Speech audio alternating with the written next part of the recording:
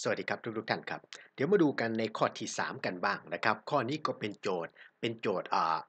เป็นโจทย์พื้นฐานเป็นโจทย์ตัวอย่างในหนังสือนะครับ ยังไงเสียก็คงต้องเก็บให้มิดแหละครับ ต้องเหยียบให้ เหยียบให้มิดเหยียบให้มิดเอาให้ชัวร์นะครับ อันดับแรกครับก็คือการเขียน free body diagram เราบอกแล้วง่ายๆที่สุดก็คือการเขียน free body diagram ประเด็นสำคัญก็คือเมื่อเขียน free body diagram แล้ว ยกวัตถุออกมาเขียนแยกแล้ว ต้องเช็คให้ชัวร์นะครับ ต้องเขียนให้ครบนะครับ นั่นก็คือแรงที่เกิดจาก reaction เนื่องจาก support reaction force เนื่องจาก support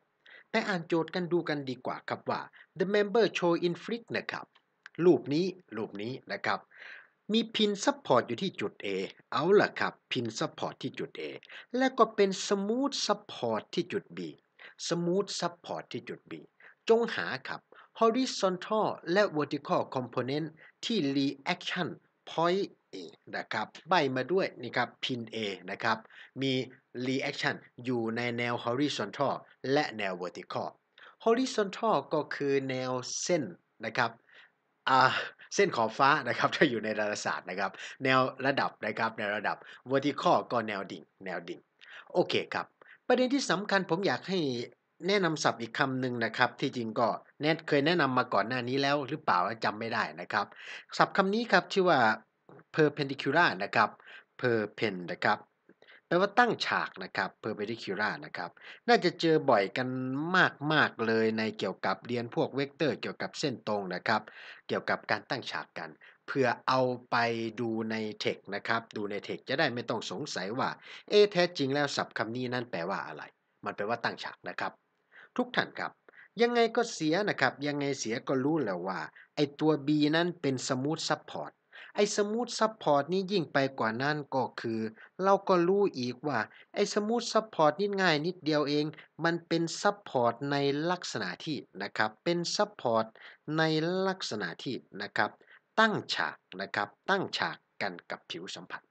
เวลาอะไรที่เป็นสมมุติสมมุตินั้น ต้องตั้งฉากกับผิวสัมผัสนะครับ ทุกท่านครับอ่าตั้งฉากกับผิวสัมผัสของเขา ผมขออนุญาตลากเขาออกมาครับ ลากออกมาตบหน้าปากซอยสักหน่อยหนึ่งสำหรับไอตัวแผ่นตัวนี้นะ ลากออกมาตบหน้าปากซอยก็จะเขียนเป็นโครงล่างเล็กๆครับเขียนเป็นโครงล่างเล็ก ๆ ที่มันคล้ายคลึงกันเหลือเกินกับไอตัวนี้น่าจะพอพอได้นะครับพอได้นะครับ เอาล่ะครับพอเขียนออกไปเสร็จแล้วก็เขียนให้ครบครับ มีโมเมนต์กระทำอยู่ตรงนี้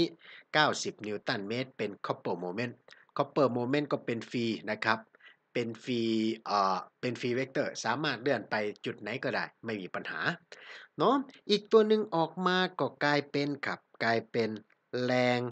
60 นิวตัน ที่ห่างจากครับ ห่างจากตัวนี้ 0.5 เมตรครับ 0.5 เมตร 0.5 เมตร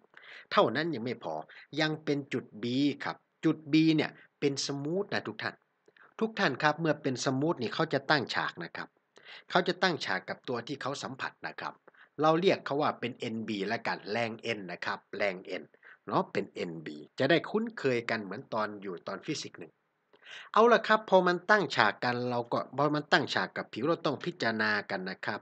ลากแกนกันให้ครบนะครับว่าเขานั้นทำมุมเท่าไหร่เท่าไหร่ กับแนวดิ่ง หรือในแนวที่เรารู้แนวระดับอะแนวดิ่งหรือแนวราบแล้วแต่ทุกท่านนะครับ ในโจทย์ข้อนี้เราพยายามเขียนทิศทางของแรง และก็ไปเขียนว่าเขาทำมุมครับทำมุม ถ้าตัวนี้ 30 องศานะครับ ตัวนี้ 30 องศา ลากขึ้นมานะครับ ลากขึ้นมา ก็จะพบว่าไอ้ตัวนี้ก็ 30 องศาเช่นเดียวกัน เมื่อได้ออกมาแล้วว่าตัวนี้มีค่าเท่ากับ 30 องศาก็เขียนไว้ก่อนนะ เขียนไว้ก่อน แต่ประเด็นหลักๆ ก็คือต้องรู้นะฮะว่าพื้นผิวที่เป็นสมูทนี้เขาทำแรงปแรง reaction ตั้งฉากกันนะครับ ตั้งฉากกันกับตัวที่เขาสัมผัส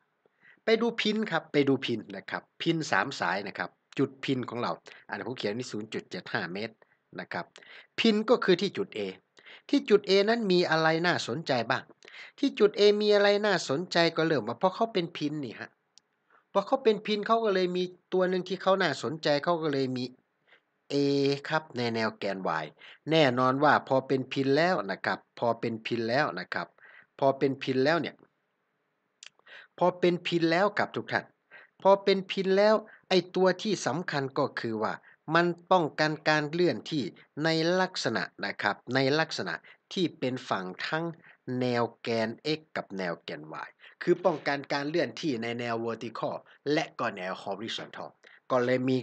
การป้องกันสักหน่อยหนึ่งเป็น ax กับ ay ทุกท่านครับ ทุกท่านครับ สบายแล้วครับ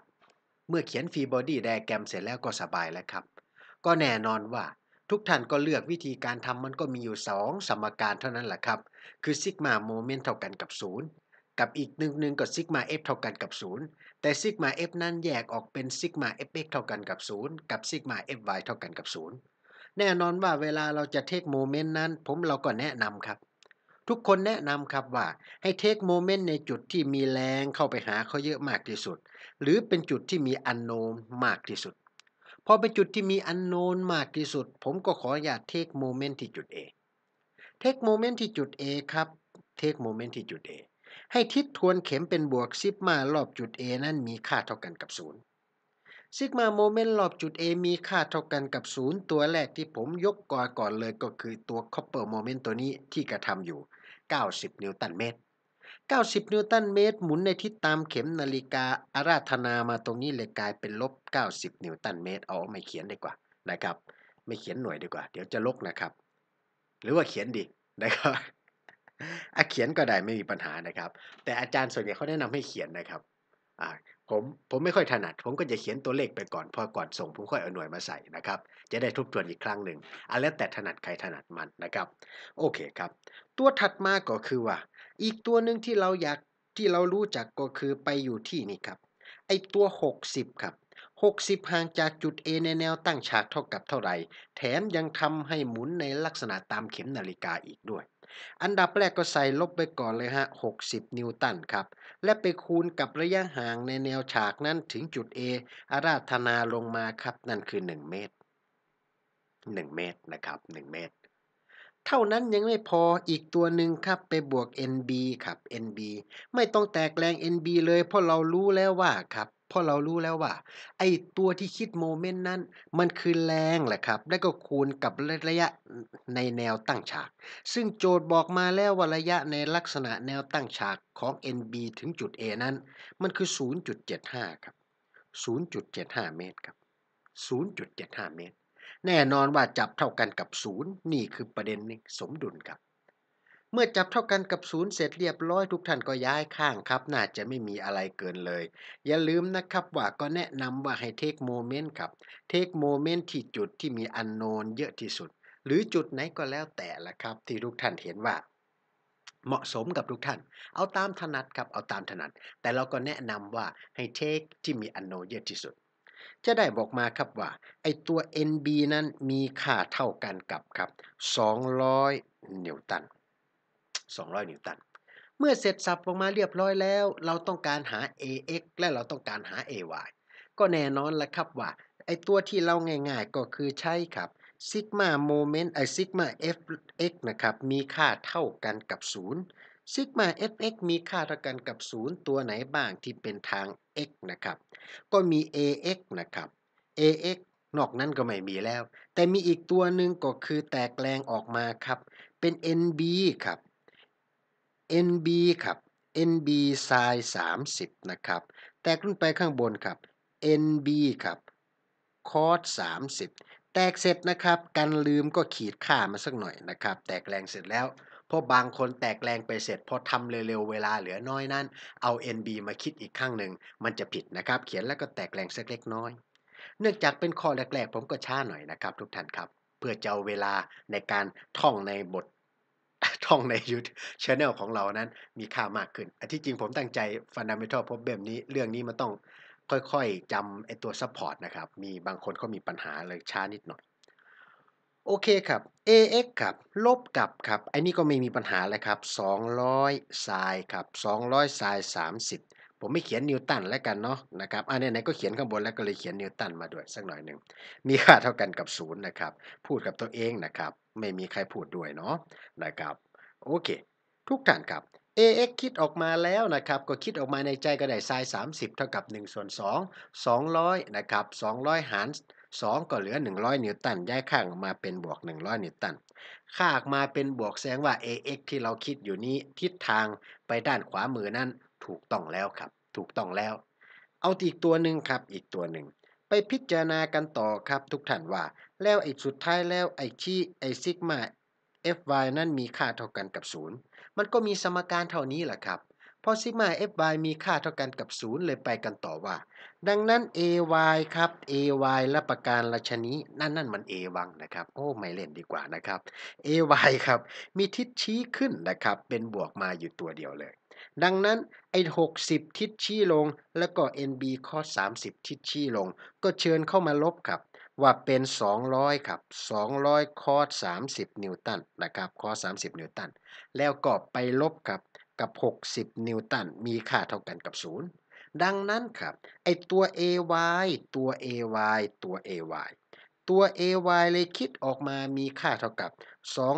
233 นิวตัน ลาประการราชนี่ล่ะครับ ก็สรุปคำตอบว่าไอตัวที่เขาต้องการนั้นก็คือคอมโพเนนต์ของ reaction ที่พิน A นะครับ ในแนว horizontal และแนว vertical นั้น ก็มีค่าเท่ากับนะครับ100 นิวตัน แล้วก็ 233 นิวตันนะ 233 นิวตัน ก็ฝากหน่อยละกันนะครับ ฝากหน่อยละกัน ฝากศัพท์คำนี้นะครับ เผื่อคนไหนยังไม่รู้นะครับ เอาไว้ในอ้อมอกอ้อมใจของทุกท่านด้วยเนาะว่าเอาไว้ในอ้อมอกอ้อมใจทุกท่าน แล้วก็ฝากช่องของเราไว้ในอ้อมอกอ้อมใจทุกท่านด้วยเผื่อคนไหนเพิ่งเข้ามานะครับ ก็กด Subscribe ให้เราสักนิดหน่อยนะครับ เนื่องจากนะครับ เนื่องจากเราก็เป็นกำลังใจนะครับเป็นกำลังใจให้กับคนทำคลิปเนาะเป็นกำลังใจให้กับผมด้วยนะครับผู้ได้รับผลกระทบจากโควิด -19 นะครับก็อยากให้ทุกท่านนั้นช่วยกด Subscribe ให้เราสักเล็กน้อยครับ แล้วไปเจอกันในข้อที่ 4 นะครับ นี่ไม่เรียกการติวนะครับ ถ้าติวเนี่ยผมไม่ค่อย ถ้ามีคนให้ผมไปติวข้อสอบเนี่ย ผมไม่ติวเยอะขนาดนี้นะครับ ผมติวแค่นิดเดียวก็พอทำได้ แต่ว่าอันนี้เรามาฝึกนะครับ อาจจะเยอะนิดนึง แต่ว่ามันจะเข้าไปในสายเลือด นี่พูดอย่างเท่ พูดอย่างหล่อนะครับ กด Subscribe กันหน่อยละกันครับ แล้วไปเจอกันข้อที่ 4 ครับผม สวัสดีครับ